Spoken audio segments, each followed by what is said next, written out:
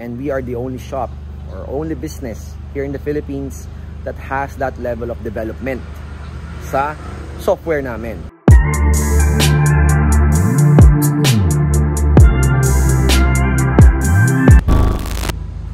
What is up guys and welcome to a new video. It's me again. I'm back in the camera. It's Kyle from Fitment Engineering and welcome sa mid-year update video natin. Of course, it's June, the month of June. Hello to the mid-year and of course, the mid-year will represent a lot of changes to the shop and I'm here to update you on that. So we'll have things to discuss may mga papakita kaming bagong gagawin and mga nagawa na namin so far. But for now, welcome sa Makati Shop natin. This is our place here in Makati in Evangelista and we actually have some cars here. But before that, thank you nga pala sa mga sumuporta at nagbigay ng feedback sa podcast natin. I didn't expect it to get a lot of views on the two on the two topics. So, sabihin may mga nanonood.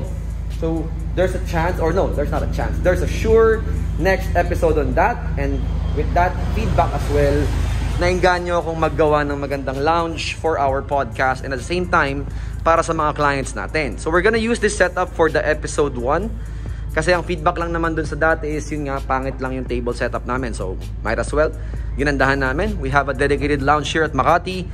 And looking forward to the next viewers ng episode 1 ng podcast natin. Maraming maraming salamat sa nanonood. I really had fun doing that podcast and I think we can do that more. Episode 1, suggest kayo ng mga topics down below para mapag-usapan natin with the boys. And it's a good way to introduce other people in the channel as well. I hope you guys had fun watching Triel, uh, sorry Triel, uh, Val, Anton, uh, Jerv and Brian, and me of course on that podcast. Maraming maraming salamat. Nag-enjoy kami sa mga feedbacks nyo. For now, this is a car channel and let's talk about cars. Okay, first of all, we have a very, very peculiar car here. This is a GTR, an R35 na nagawa na namin. This actually is from Luwag, Ilocos Norte. Hello Vince, your car is ready. And he told me to please empty the tank and tune the car tomorrow kay Speedworks. I mean, on Tuesday. So the goal is to empty the gas of this car para malagyan natin ng 95 octane before we tune the car for him. So the car is done. Okay na to, ready na to. Uh, pwede na umuwi ng Ilocos. Tune na lang. Shoutout nga pala kay Hazard Boy. Uh, Kuya Mac and Kuya Edward of Hazard Boy, maraming maraming salamat for taking care of the car. They actually had the car aligned, changed oil, rotors, pads, full maintenance kasi taga kakabili lang niya ng coaching to. So after immediately buying the car, pina-assess niya lahat, pina-airsus na rin niya, and ipapatono na rin niya. Shout out to you. He knows his shit, he knows what he's doing, and that's really good. Now, we have a few cars here. We have the S-Class na ginagawa namin. This is for release. We have the BRC ng kabilang shop na inaayos na namin ngayon. Sumuko na yung client. And pinagawa na lang niya ng fitment. And thank you nga pala sa may, may-ari nito si Carl. This BRC is quite clean. Sabi ko nga sa kanya, the car is really clean, carbon goods and everything. Sabi nga niya, problema na lang daw niya air sus. So we'll have to fix the air suspension on this clean BRZ. I really love the color. I really love the carbon bits. We're gonna make this car re look really good. So abangan niyo tong coaching to. And I know you saw it already. There's a red car peeking there. And that's the Ferrari 458 Spider na gagawin natin this coming June. This is going to be a crazy wide body project and going to be bagged of course and the owner is boss Angie. Okay? This car will be insane. Okay? We'll be doing this car. This this this ito yung build. Panoodin nyo. As I speak papakita ko yung build na gagawin sa coaching to. This is my dream 458 build and Angie's gonna do it on a spider so ang challenge dito is we need to put the tanks sa likod sa bumper okay for the air suspension Pero yeah, it's gonna be wild. It's gonna have a chassis mounted wing like in the video you're watching. It'll have the LaFerrari inspired uh, side mirrors. It's gonna be wild. Of course, wide body, palit siya ng fenders, bumpers, over flare sa likod. It's gonna be a crazy build. This 458 is insane pag natapos. So abangan nyo to. Not gonna dive into this. Pero I'll make a separate vlog on that pag sisimulan ko na. Pag sisimulan ko na. For now, It's gonna be here for a while kasi gagawa pa kami ng mga tangke. And we're gonna close it up. Now we'll have to take this bad boy to Lipa City and we're gonna drain its fuel. Ubusin natin yung gasolina. And we're gonna have to tune it with Leo of Speedworks Engineering on Tuesday with the red Supra ni Bods. As you can see, madami tayong ginagawa. Anyway, that's a 5 minute video here at the shop. Let's actually go to Lipa City and let's show you the updates for that as well sa Lipa. Okay, drive muna tayo. Let's take the GTR and I'll show you.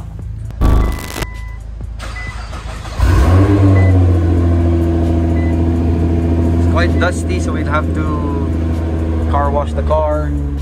You have the air suspension ready. Okay. Have height sensors as well. Okay. All good. So ang goal natin is ubusin yung gas. It's half tank, ubusin natin kasi we need to tune the car on 95 octane. Hindi pwedeng blaze kasi walang blaze sa luwag. So shoutout sa may-ari. We're gonna take care of his car. Okay, of course, I'm documenting the process because he asked, asked me a favor to please uh, drive the car para maubos yung gasolina and ipapatono natin. Pinapasuyo na lahat yan. I'm more than willing to help him because you don't get to drive a GTR every day to do errands with it. And maraming maraming salamat kay Vince of Lawag for trusting fitment. Okay? Maraming maraming salamat. Let's actually bring out the car and let's go to Lipa City.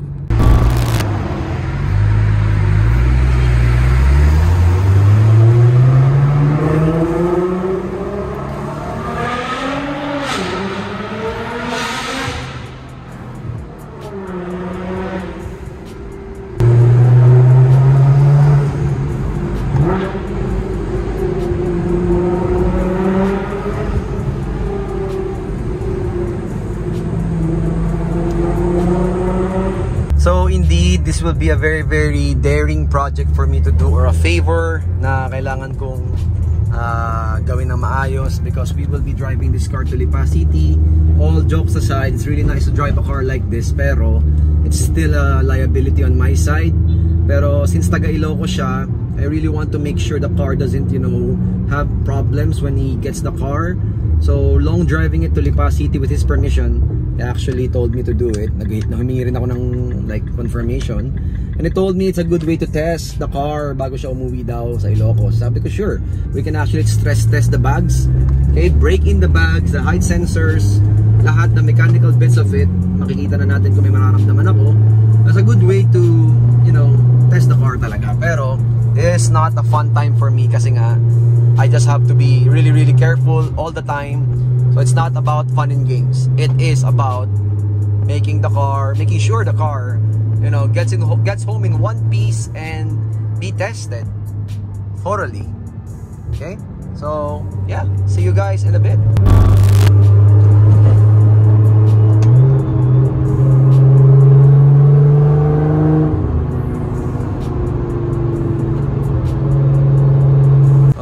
Welcome back to the video. We are here at Lipa City. GTR drove well.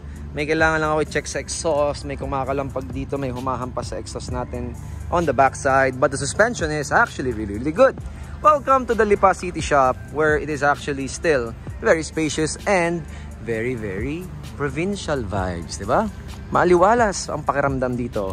So, I'm actually shooting a video for So You Want to Bag Your Lancer EX and we have it here.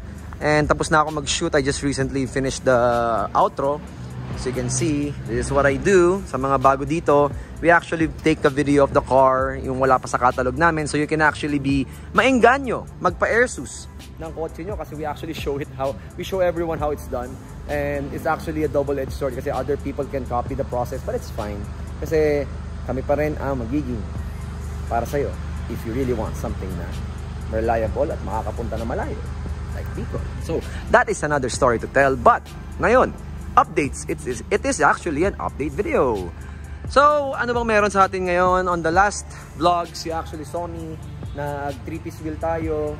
And we actually, bumili kami ng machine for the 3-piece wheel. And we actually have it here at the shop. Nakapag-set up na kami. We have our mandrel.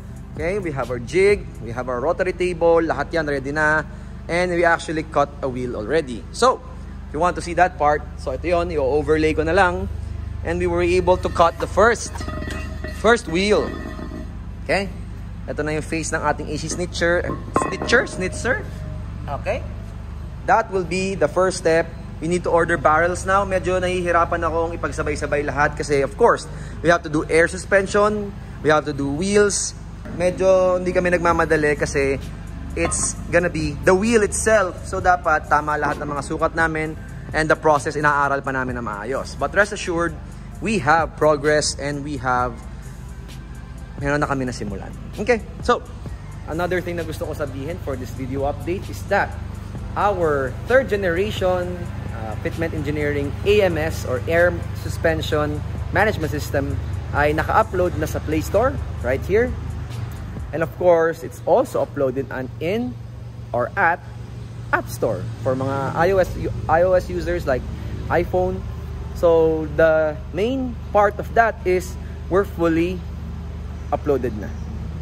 And that's like a year's worth of working with people, developing the app, uploading it to the proper spec ng ating developer account, developer program. So iOS, okay, developing an, an, an iOS app is not only expensive but also time consuming. Okay, developing an Android app is not also But ako kasi akin kasi we want to be a standard here in the Philippines. That's why we uploading both of it here at this, you know, ano ba naman yung pag kailangan mo ng app, install mo na lang sa Play Store or App Store. And we are the only shop or only business here in the Philippines that has that level of development sa software namin. Okay, so that's something to uh, congratulate about. Maraming maraming salamat and congratulations to my developers team, development team sa Android side. Thank you. And sa iOS side, sa Apple. Thank you rin sa inyo sa mga dev team ko. Maraming maraming salamat. We have done it. Now we have to finish the air suspension kit which is abangan nyo yun. That's going to be a another thing, another update for you guys. So, ngayon, work is almost done. I'm done shooting. Let's take the GTR out for another drive here at Lipa City and chill-chill na lang tayo. Kamusta naman? Okay, how's your 2022 so far? For me, it's been crazy been really, really good. The Supra's really, really nice as well. Baghdad Bicol was amazing. Okay, and we're going back to Baguio. We're going to Locos. Ang dami pa tayong pupuntahan. We're partnering with Tatachi for those Bicol trips. O nga pala, sila rin, nag, sila rin nag-sponsor nung last trip natin sa Bicol. Check them out. Tatachi Lubricants. Salamat sa inyo, Kuya Prince. And yeah, let's actually wrap it up and let's take the GTR for a drive. Alright, welcome to Group N Autosports. Andito na naman tayo sa ating one of our mentors here at Lipa City. And as you can see, we have a Toyota Supra in front of us that actually is Bod's uh, Supra, yung E90 niya.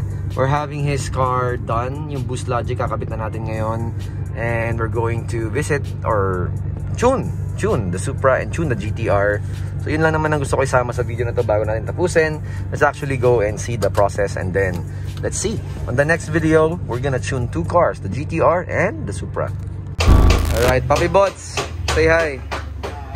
So siya naman ang ating dedemonyohin for the power mods ng Supra niya. Welcome to the club. Tomorrow's the big day. Ito yung kanyang Boost Logic na downpipe. Boost Logic actually has the best power gain na downpipe na pwede mong bilhin sa market ngayon. It has a bigger uh, inner diameter dito sa loob.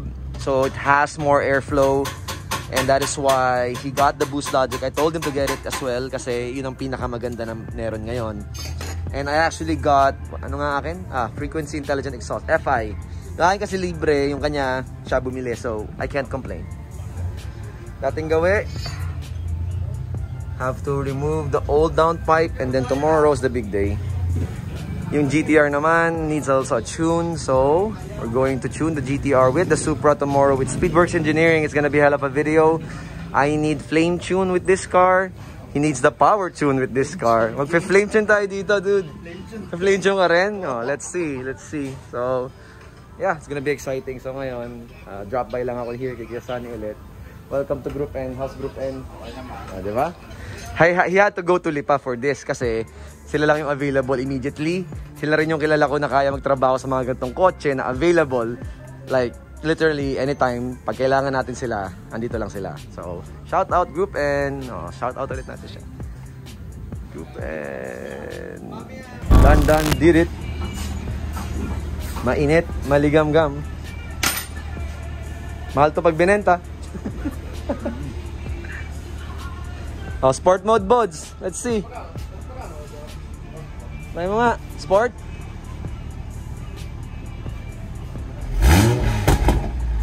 Pa. Oh, di ba? Ano bots, nagbago ba? Hindi ko tanda, ingin nung akin eh. Nagbago? Oh, lakas na. Isa pa, one more, one more, one more.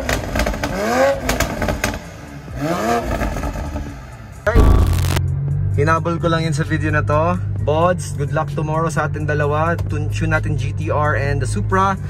And maraming maraming salamat ulit kay Group and Auto Sports for installing the downpipe ni Bods sa kanyang Supra. Maraming maraming salamat sa inyo. Once again, Group and Auto Sports. Big thanks to Kuya Sunny. That's going to be it for the update video. Hopefully you enjoyed this video. Please like and share. Subscribe to the channel. And stay tuned for the next. Next video natin is Magtutune tayo ng dalawang kotse. Ah, we have a Flame Tune GTR and we have the Supra, the Bods na itutune natin with Speedworks Engineering once more.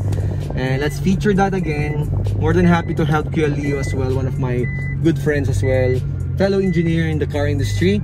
So, that's going to be it. It's been Kyle from Fitment Engineering and you're watching Fitment TV. I'll see you on the next episode. Salamat!